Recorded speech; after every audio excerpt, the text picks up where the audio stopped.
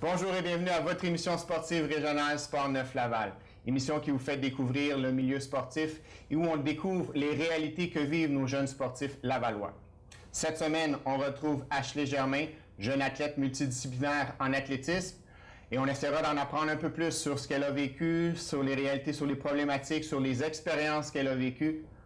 Si vous êtes prêts, on lance ça maintenant.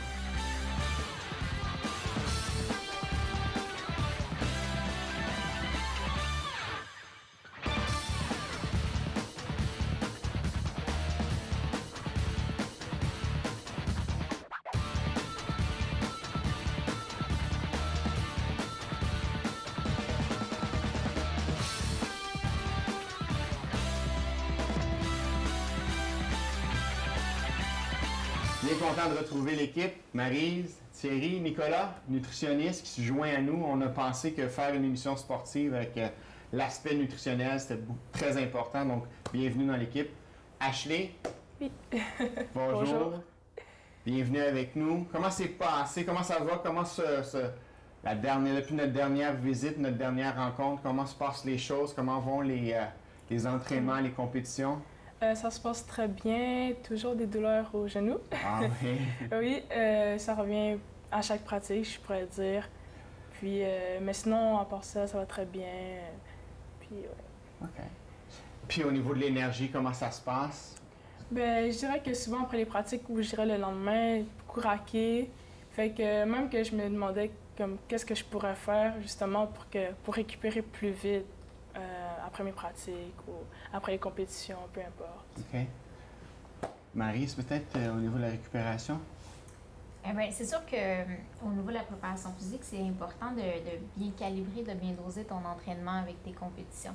Donc, évidemment, euh, est-ce que tu as eu un temps de repos après tes, euh, tes compétitions? euh? Euh, Ah, oui, j'en ai quelques-uns, mais peut-être un jour ou deux, mais pas plus. Puis, même malgré le repos, tu te sens fatigué, Ouais, ben, je dirais après, quand je reviens à l'entraînement, c'est un peu plus difficile. difficile, tu sens pas que tu as récupéré complètement. Pas complètement. J'ai récupéré, oui, je vois une différence, mais je dirais pas complètement. OK.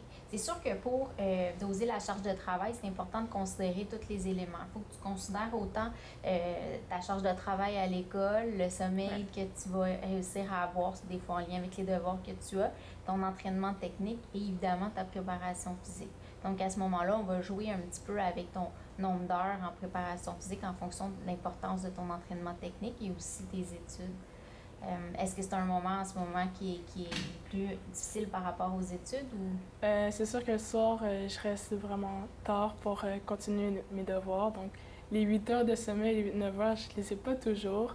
Donc, c'est sûr ça peut jouer un peu sur ma récupération. sur ta récupération?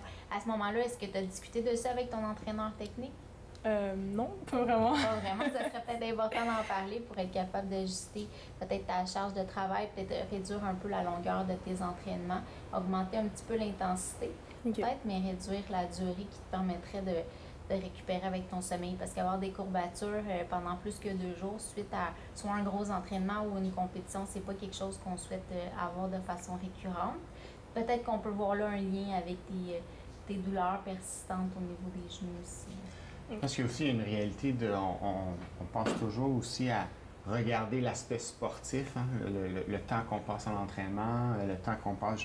Mais il faut aussi considérer les autres aspects. euh, À Ashley, qui est étudiant secondaire 5, termine son secondaire. Donc, tout dépendamment de, du calendrier, il y a d'autres éléments qui, qui peuvent venir taxer au- autant physiquement que mentalement l'athlète dans cette, euh, dans cette surcharge-là. Donc, c'est c'est vraiment d'essayer de voir, j'imagine, euh, une approche qui est peut-être un petit peu plus globale, générale, puis de considérer tout ça. Oui, c'est certain. À ce moment-là, quand on, on se rend compte que le sommeil peut être déficient, puis qu'on a des symptômes comme ça de courbature ou de fatigue persistante, euh, par exemple en préparation physique, ce qu'on va faire, c'est qu'on va réduire pour faire un maintien. On n'ira pas chercher des gains à ce moment-là parce que on risque de mettre euh, l'athlète euh, euh, dans une zone euh, pour des blessures. À ce moment-là, on veut éviter vraiment ça, des blessures à l'entraînement parce que la fatigue est trop grande.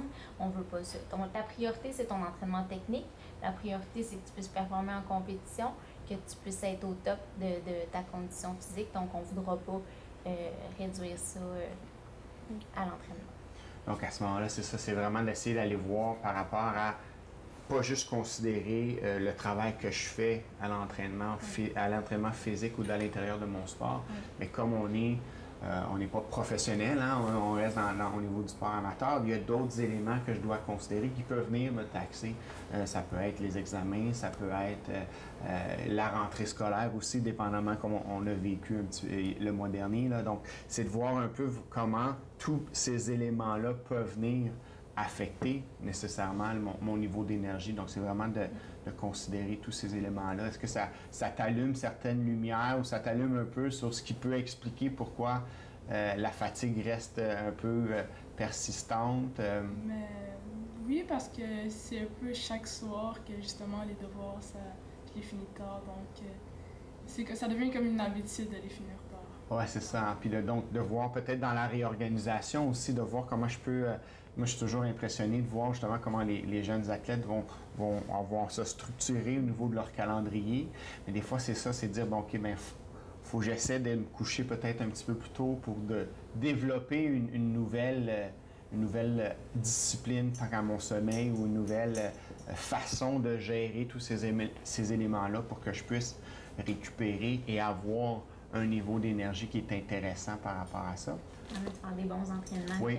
performer Puis de travailler justement au niveau de ma progression. Donc, peut-être c'est de voir justement, d'essayer de voir de ce côté-là si, euh, oui, il y, a un focus à avoir au niveau sportif, mais aussi il faut regarder les autres facettes par rapport à, ce qu'il y a dans, ta vie.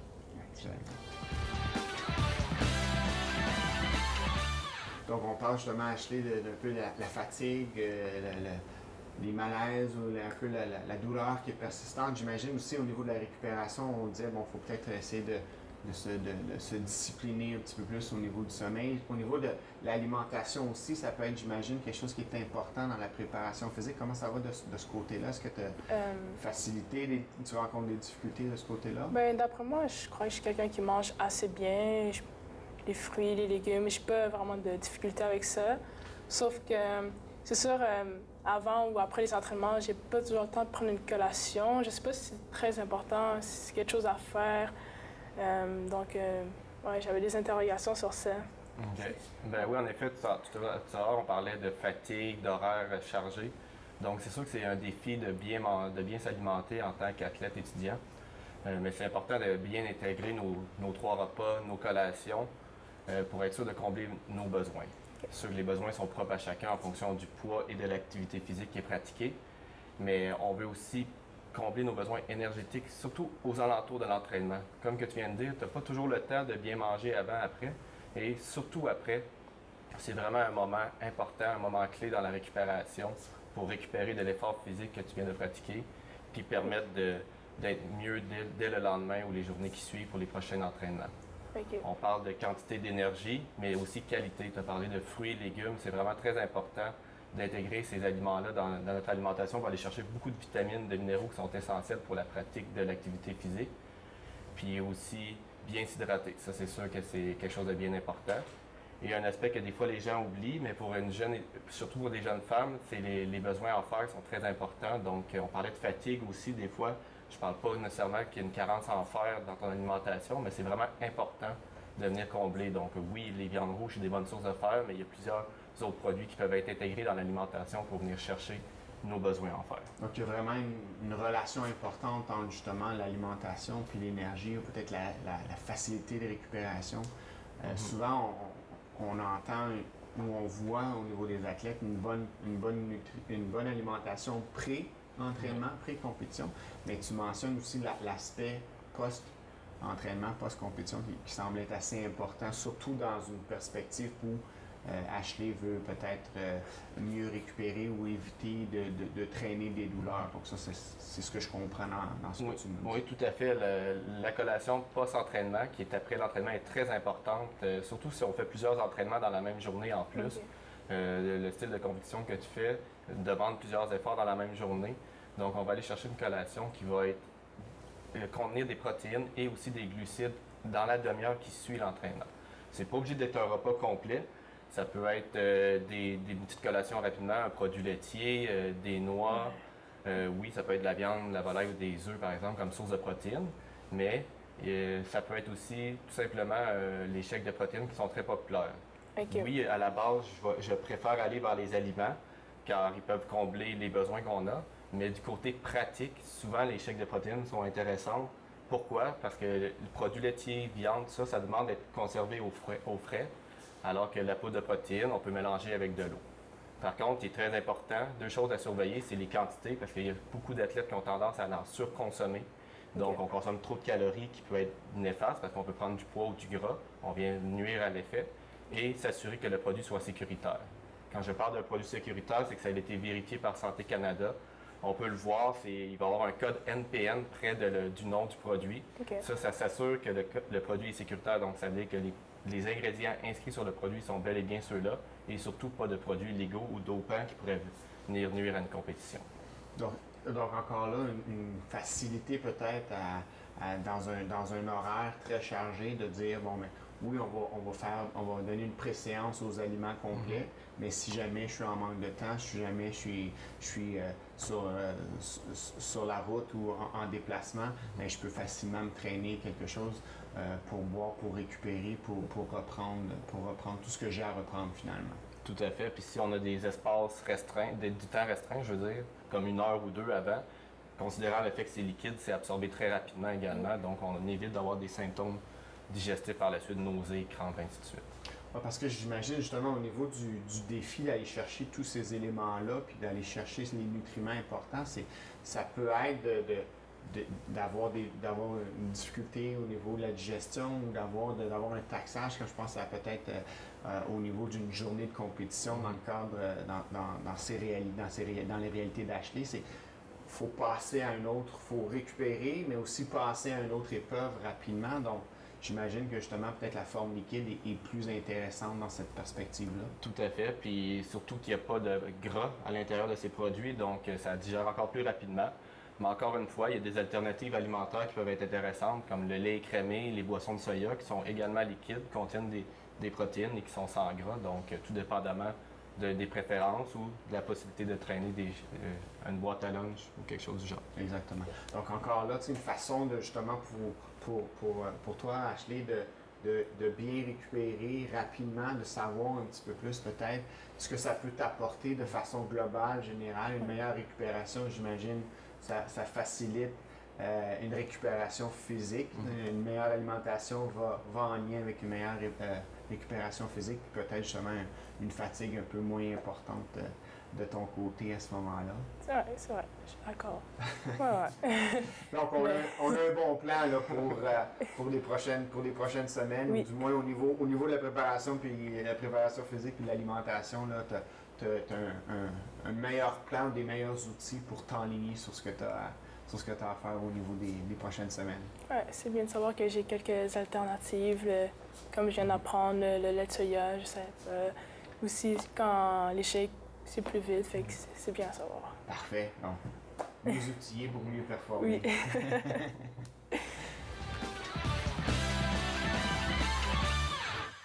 Alors, Ashley, avec euh, les meilleurs outils au niveau de la préparation physique, au niveau de la, récupération, au niveau de la nutrition, de l'alimentation, j'imagine que tu sens comment se passe là? Est-ce que tu as commencé euh, ta saison de compétition ou ça s'en vient euh, prochainement? Pas encore, on est encore dans les pratiques, mais ça s'en vient bientôt. Euh. donc les entraînements, toujours les entraînements. J'imagine que c'est des environnements qui sont peut-être un petit peu. L'environnement d'entraînement est toujours un petit peu moins stressant. Oui, c'est toujours plus relax. Que... Dès que les, premiers les premières compétitions arrivent, c'est Ah, là, OK, je sais que ça commence, mais quand c'est encore les pratiques, c'est relax, on, travaille. Est-ce que l'entraînement aussi, l'environnement ou l'ambiance d'un entraînement va être différent là avant les compétitions ou puis une fois que les compétitions sont, sont entraînées, est-ce que tu vois un, niveau de stress plus élevé dans, dans tes entraînements aussi? Ou ben c'est vraiment juste au niveau des, des compétitions? Oui, j'irais plus au niveau des compétitions. Les pratiques, c'est toujours la même chose. Euh, que j'aille une compétition bientôt ou euh, dans longtemps, les, les niveaux de, de pratique, ça reste toujours euh, le même. Puis le stress reste toujours le même à ce niveau-là? Oui, oui. Donc, est-ce que, est que, est que tu vois une différence entre quand tu t'entraînes et quand tu prépares, ou en, préparation pour une, compétition? Bien, c'est sûr qu'on va y aller plus spécifique euh, la semaine avant la compétition. Par exemple, si je sais que je vais faire des 200 mètres ou son longueur, on va faire quelques sauts, essayer ma marque il n'y a pas vraiment de stress à ce niveau-là. C'est juste que je devrais, je deviens un peu plus concentrée, si je peux, si je peux dire. OK. Puis est-ce que ça, ce, ce niveau de, de- de stress-là se, se voit dans tes compétitions? Euh, à mes compétitions, le stress, il peut venir. C'est sûr que je suis pas une personne très stressée d'habitude. C'est plus, euh, par exemple, euh, après une compétition, je dirais peut-être après un 200 mètres, je sais pas toujours quoi faire. Après, parce que je sais que j'ai une finale euh, plus tard, donc est-ce que je devrais écouter de la musique, relaxer? Je ne sais pas vraiment comment gérer le, le temps que j'ai entre la prochaine course. Donc, entre les épreuves, c'est ça qui est- un peu. euh, Donc, c'est sûr que quand on regarde au niveau de la préparation, euh, préparation mentale, il y a, une- c'est sûr que la- la- le stress est important. Moi, j'ai souvent l'athlète va me dire Michel, je plus être stressé, je veux arrête de compétitionner. En quelque sorte, le, le stress, euh, je parle d'activation plus que de stress, moi, parce que souvent, la- le stress a une connotation négative. là. Mais euh, donc, il faut être activé pour performer. Je peux pas être. Relax ou je peux pas nécessairement être trop relax non plus parce que si c'est j'ai pas de j'ai pas de, de- de- drive ou si j'ai pas de volonté à, vouloir compétitionner, ben nécessairement je ne donnerai pas le meilleur de moi-même dans ma performance. Donc ce qui est important justement entre puis je te dirais que c'est entre les épreuves dans ton cas, mais aussi en préparation d'une épreuve, c'est de trouver ta recette. Trouver ce qui t'amène à être dans une zone, ce que moi j'appelle la zone optimale de performance. C'est-à-dire que l'activation ou le stress va venir contribuer à ta performance jusqu'à un certain point. Après ça, tu sais, moi je dis toujours à un athlète, je pose la question, y a-t-il une différence entre être excité, être nerveux puis être stressé? Tu sais, Puis si habituellement on, on est capable de très bien voir quand je suis excité, c'est que j'ai le goût d'aller performer, j'ai le goût d'aller montrer euh, ce que je suis capable de faire, puis mon talent, puis mes habiletés. Quand je commence à être nerveux, souvent c'est à l'intérieur de ça, je commence à avoir un doute sur est-ce que je vais être capable de faire ce que j'ai à faire. Donc, si je, dépasse ce point-là puis que je deviens stressé, à ce moment-là, c'est plus une question de doute, c'est je serai pas capable ou je vais, je remets en doute même mes capacités ou mes habiletés. Donc, quand on se prépare pour une, quand on se prépare pour une performance, c'est d'être excité, nerveuse, un peu dans ton, dans ton cas, être dans cette zone-là pour être dans une zone où ce que je vais avoir un, éveil, une activation, puis je vais être capable de faire ce que j'ai à faire. Donc, autant la, la- l'après-compétition est importante parce que peu importe ce qui va s'être passé dans cette épreuve-là, faut que je mette ça de côté pour pouvoir me préparer à ma prochaine épreuve. Donc, je pense que si tu veux regarder comment une on peut développer une routine dans ton cas, c'est de dire, ben, on faut prendre un temps pour qu'il physiquement relaxer, à décompresser, puis faire une petite analyse de bon, qu'est-ce qui s'est bien fait, qu'est-ce qui a été, qu'est-ce qui a été réussi dans, la, dans l'épreuve que j'ai fait. Parce que c'est aussi important, souvent ce qu'on, ce qu'on va avoir comme réflexe, c'est regarder tout ce qu'on a fait mal, tout ce qu'on a de fait de mal, tout ce qui n'a pas bien fonctionné. Alors que si je veux me préparer à une prochaine épreuve, ben j'ai pas beaucoup de temps. Tu sais, je pourrais faire une analyse plus en profondeur puis me dire, OK, mais ça, je, ça, veux plus faire ça ou ça, je veux le faire différemment. Mais là, si tu veux t'en aller dans, une autre performance puis t'en, aller dans- d'une façon plus positive dans une autre performance, c'est de dire, OK, qu'est-ce que j'ai réussi ici? Qu'est-ce qui a bien été? Qu'est-ce qui m'a permis de me qualifier pour ma finale? Que ça, je veux partir avec ce bagage-là. Je veux l'amener avec moi dans ma finale. Donc, il y a comme un peu une, une courbe descendante où physiquement je vais décompresser. Il y a une petite analyse que tu peux faire par rapport à qu'est-ce qui a bien été fait dans ma dernière performance. Puis il y a une préparation à, à t'amener à un niveau d'activation où tu vas être encore là excité, nerveux. C'est pour bien performer dans ta finale. Et ça, de laquelle façon tu vas le faire? Moi, je dis toujours aux athlètes, j'arrive avec un coffre d'outils, puis on, va, on travaille différents outils, puis on trouve l'outil qui fonctionne le mieux avec toi. Il y en a qui vont être dans leur bulle. On, on voyait au- au- aux Jeux olympiques beaucoup d'athlètes avec les, les d'écoute, puis écouter leur musique. Il y en a pour qui ça fonctionne. Il y en a qui veulent discuter, ils veulent avoir un contact avec quelqu'un d'autre. Il y en a qui veulent euh, écouter des vidéos, lire, peu importe. Il faut trouver, toi, ta, manière de te préparer pour, être, pour rentrer dans cette zone-là, d'être excité.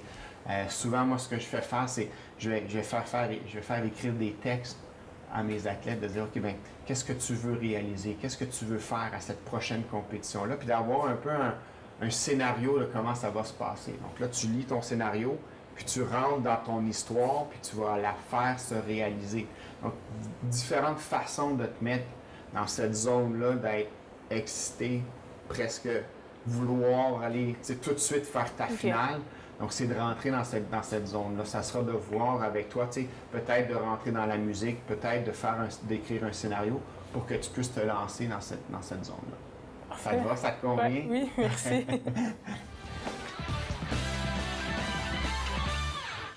Ashley, on, a fait le tour un peu de, on a fait le tour de, différents éléments au niveau de l'alimentation, au niveau de la préparation mentale, la préparation physique. Puis on t'entend parler surtout sur euh, le mal, le malaise, la blessure. J'imagine que c'est un, un, élément qui, qui, devient important pour un athlète quand on, a une blessure qui traîne. Quand, comment est-ce que moi, tu gères cet élément-là actuellement dans, ta préparation, dans tes entraînements? Bien, je sais qu'en entraînement, euh, les sauts, il y en a beaucoup. Donc, euh, à chaque fois que je fais des sauts, je me dis, est-ce que je devrais continuer? Ou justement, vu qu'on a des sauts à faire, je sais que ça va être bénéfique pour moi. Donc, est-ce que je continue, j'arrête mon exercice vu que ça fait mal? Donc, je ne sais pas vraiment comment gérer ça durant les pratiques. Donc, euh, par exemple, si j'ai série de, de sauts à faire, ben, je vais descendre d'une série, puis j'en faire deux à la place de trois. Donc, c'est comme ça que je le gère pour le moment. Euh, moi, je me disais, est-ce que je devrais arrêter de faire quelques, quelques exercices, euh, les couper de mon, de mon entraînement ou qu'est-ce que je devrais faire? C'est sûr que ça varie beaucoup dépendamment de ce qui se passe au niveau de tes genoux. Là, tu parles de beaucoup de sauts, d'impulsion, de réception. Ça met beaucoup de stress au niveau de ton articulation, euh, surtout au niveau des genoux. En athlétisme, on s'entend que c'est assez intense ce qui peut se passer là. Déjà, à la base, c'est une bonne approche qui est de limiter quand ça devient trop douloureux. C'est à la base un peu de, de ce qu'il faut que tu fasses pour mieux récupérer c'est de voir aussi qu'est-ce qui crée tes douleurs. Oui, les sauts viennent créer tes douleurs, mais est-ce que c'est dans certaines positions? Est-ce que c'est saut en longueur? Est-ce que c'est saut euh, en hauteur? Quel mm-hmm. type d'exercice viennent créer tes douleurs? C'est de voir aussi jusqu'à quand tes douleurs, tu peux les tolérer sans créer plus de dommages. C'est sûr qu'à la base, s'il y a une douleur, il ne faut pas associer tout de suite douleur à dommage, soit musculaire, au niveau des tendons, ou ligaments ou quoi que ce soit. C'est pas douleur égale dommage. Mais ta douleur est là pour une chose, c'est un signal d'alarme qu'il faut que tu écoutes. Si jamais tu vois que ta douleur devient trop intense, justement, il faut changer de quoi à ce moment-là. si tu pousses trop dedans, là, ça peut devenir dangereux au niveau de, tes genoux. Euh, c'est aussi de comprendre qu'est-ce qui est problématique au niveau de ton genou. C'est un tendon, c'est un ligament, c'est un ménisque, c'est l'articulation en tant que telle, ou ça part de plus haut des hanches, du bassin, du dos. Souvent, des douleurs au niveau des genoux, surtout à son âge, peuvent provenir de plus haut, soit au niveau force musculaire, au niveau des hanches, contrôle des hanches assez fréquemment on voit des problèmes de genoux qui sont dus à un manque de contrôle au niveau des fessiers. C'est de voir aussi comment tu gères ça. Est-ce que présentement, tu fais des exercices quelconques spécifiques pour aider tes genoux? Euh, pas tellement. Après les, entraînements, je me roule mm-hmm. plus haut que. Avec le, fameux foam roller? Oui. Ouais, Puis euh, parfois, je mets de la glace. Bon. déjà, il y a une tentative d'aller régler le problème. Il faut comprendre que les deux choses qu'elle fait en ce moment, c'est un peu passif si on veut. Foam roller, on roule un peu plus haut pour relâcher musculature, un peu de glace pour tenter de diminuer la douleur. Mais le problème en tant que tel, il n'est pas ciblé. Il n'est pas adressé comme C'est ça. On essaie de régler un peu les symptômes, mais il faut travailler un peu au niveau du problème. C'est de voir aussi c'est quoi ton problème. À ce moment-là, c'est de pouvoir faire les bons exercices au bon moment. Est-ce que je l'ai fait avant ou après ou même des fois dans les deux cas, on va faire avant et après.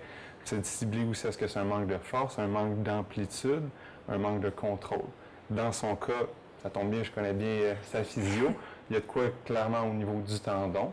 Donc, il faut travailler un peu au niveau du tendon, oui, mais ça se passe aussi plus au niveau des hanches. Donc, tout ce qui est contrôle musculaire au niveau des fessiers, il faudrait que ça soit travaillé un peu. Qu'à ce moment-là, c'est de voir avec le physiothérapeute vraiment c'est quoi le problème pour cibler l'exercice spécifique.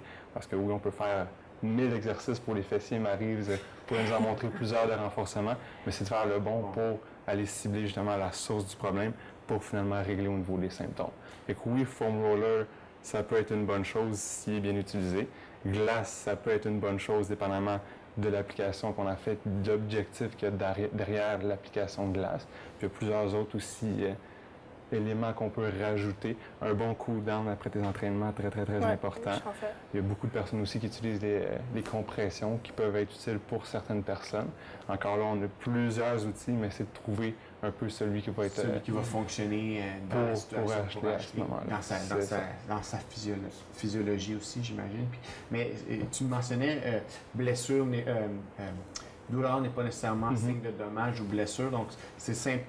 Pour moi, c'est- nouveau là, Mhm. d'avoir cette, cette perception-là. Est-ce que tu, tu partages, est-ce que tu savais ça j'ai- aussi? Ouais? Ouais, non, je partage la même idée que vous. euh, mais, exemple, comment je pourrais différencier que c'est juste une petite douleur puis que je peux continuer ou, euh, oups, je dois Mhm. arrêter. C'est Ça peut peu. être assez difficile à Ouais. identifier quand on se connaît un peu moins. Euh, souvent, ce que je vais dire, c'est si tu sens que ta douleur commence à diminuer tes performances sur le moment ou que ça l'affecte ta façon de fonctionner. Par exemple, si tu dois sauter en utilisant plus ton côté droit que ton côté gauche parce que tu te sens pas à l'aise de travailler avec ton côté droit, là, ça, ça peut créer certains dommages. Parce que oui, tu viens diminuer la charge de ton côté droit parce que tu as une douleur, tu as peur de l'aggraver, mais ton côté gauche peut en, en souffrir un peu plus tard aussi. Du moment que tu sens que ça diminue tes performances ou que ça change ton, ton patron de, de fonctionnement à ce moment-là, c'est signe que peut-être que si tu le pousses un peu trop assez rapidement, ça pourrait être dangereux. Autant pour tes genoux qui, sont, qui, qui émettent le signe d'alarme que pour les chevilles, que pour les hanches. On a souvent vu là, des, des joueurs ou des, des- des athlètes compenser pour un genou droit, puis hop, on se foule la cheville gauche ou on se blesse au genou droit. là. On entend souvent parler de croisant antérieur, on protège un côté, puis on brise l'autre croisé par la suite. C'est à faire attention à ce moment-là. Fait que du moment que tu vois qu'il y a quelque chose qui change à ta façon de fonctionner, il faut se poser des questions un peu plus euh, intenses. Donc, c'est vraiment de voir justement, la douleur peut être simplement un signal, c'est de Mhm. voir par rapport à euh, qu'est-ce que je suis capable de faire avec, de réaliser en dépit avec la douleur. si, Mhm. je- si je suis capable de continuer à, à performer sans nécessairement changer ma façon de faire ou, ou peut-être juste de diminuer un peu comme, euh, comme Ashley le fait, dire ben, je vais faire une série de moins parce que je suis capable de, Mhm. de- de l'endurer à deux sauts plutôt qu'à trois. Ça va être peut-être d'y aller dans ce sens-là à ce moment-là. C'est pas parce qu'on dit que douleur n'est pas égale dommage qu'il faut dire j'ai mal, c'est pas grave. Ouais. Il faut se poser des questions. Du moment qu'il y a une douleur, on se pose des questions. C'est de voir jusqu'à quel Traiter, oui, mais aussi prévenir ou développer, développer pour venir régler la situation pour de bon, en quelque sorte. Exactement. Parfait.